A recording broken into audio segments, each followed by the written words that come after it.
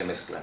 Y tengo otra gran suerte, que es que afortunadamente esa pasión que tengo por el mundo de la magia, los mejores magos del mundo, pues me han hecho magia o en mi casa, o en tu casa, en mi choco, o en, bueno, pues, o en un aeropuerto por ahí perdido. ¿no? Y creo que de alguna forma eh, esa satisfacción hay que retornarla, tiene que tener un retorno y ese retorno es poder.